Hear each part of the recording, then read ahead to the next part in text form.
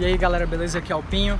Semana passada eu falei sobre idade e calistenia, sobre se você é velho demais, você já sabe que isso não existe. Então, independente da sua idade, você pode sempre começar.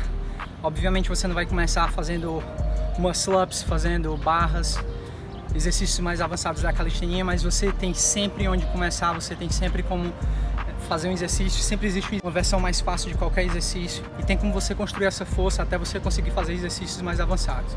E hoje eu vou falar para vocês sobre uma dúvida que muita gente me pergunta, muitas crianças aí de 12 anos, 10 anos, 14 anos, perguntando se é cedo demais para praticar calistenia, se existe uma idade, se isso vai prejudicar o conhecimento, o crescimento delas.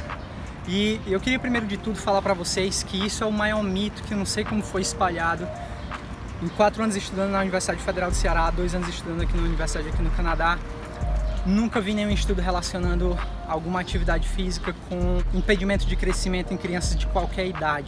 Você pode ver ginastas, nadadores, atletas de nível olímpico, atletismo, a galera treinando desde os seis anos de idade, com oito anos de idade já sendo capaz de fazer coisas que eu e você, a gente talvez nunca vá conseguir. E você pensar, ah, cara, mas os ginastas são baixos, então por isso que eles eles não crescem tanto. Você tem que prestar atenção que existe um sistema de alavancas de acordo com biomecânica. Quando você faz bodyweight training, quando você faz calistenia, movimentos com seu peso corporal, obviamente se você for mais baixo, você vai ter uma certa vantagem perto de pessoas que são mais altas, mas isso também não quer dizer que as pessoas mais altas não vão conseguir na calistenia. Simplesmente nas Olimpíadas, nível olímpico, nível de performance de ginástica, você precisa dos melhores. Então os melhores têm que ter uma certa genética. Da mesma maneira que jogar basquete não vai te fazer ficar mais alto, tá? Os atletas de basquete são mais altos porque eles precisam de atletas altos para ter uma performance, performance das melhores. Então, se você for baixo, independente de, do quão bom você for, você não vai jogar no nível competitivo de basquete se você tiver 1,60m de altura. Infelizmente isso não vai acontecer. Da mesma maneira, se você tiver 2 metros de altura e você for muito forte, você não vai estar no nível de performance de pessoas atletas mais baixos. Simplesmente características de corpo, como você vai trabalhar com seu corpo e a ação da gravidade, quanto menor a alavanca com relação à biomecânica, mais fácil vai ser de executar esse exercício.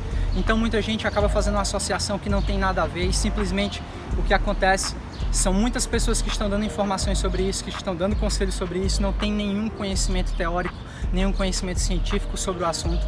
Eu te desafio a pesquisar qualquer estudo publicado que esteja relacionando a prática de qualquer atividade física com impedir que uma pessoa se desenvolva no máximo da capacidade dela. Isso nunca vai acontecer, nem com treinamento com pesos, nem com treinamento sem pesos. Nenhuma criança ela vai treinar a um nível de fazer com que o corpo dela seja afetado de tal forma. Então, se não tem esse tipo de restrição nem com relação ao treinamento com pesos, imagina com seu peso corporal. Então, se você prestar atenção às crianças nos parques de crianças, você pode perceber que ela já faz calistenia. Você vê as crianças segurando na barra, passando de uma para outra com tanta facilidade.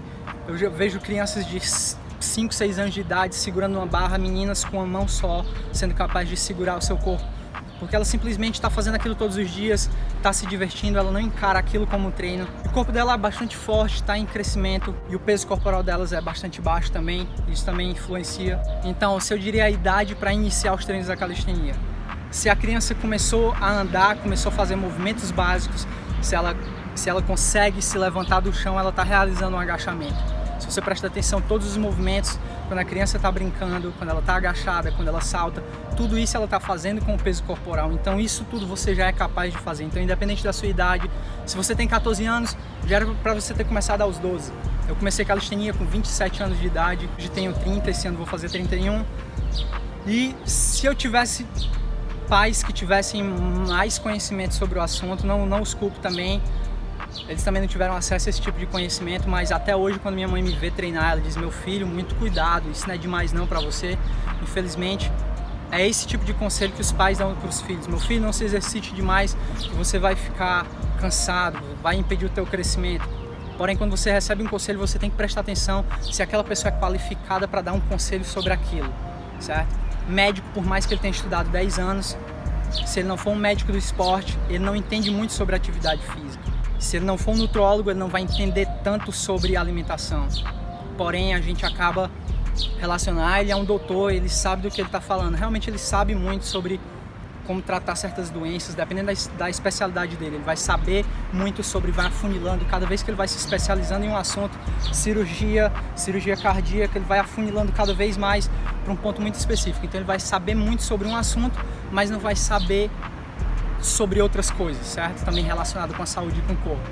Então quando você recebe um tipo de conselho, preste atenção se a pessoa que está te dando esse conselho ela é qualificada para realmente te dar é, de te passar a verdade com relação àquilo. Então, se qualquer médico, se qualquer pai estiver dizendo que você está se exercitando demais, se você está treinando uma hora por dia, seis vezes por semana, isso não é demais para ninguém. É o mínimo que todo mundo deveria fazer. Então, quanto mais ativo, melhor. Mas você precisa também prestar atenção em outros fatores, como a sua alimentação, como o seu descanso, atividade física e saúde.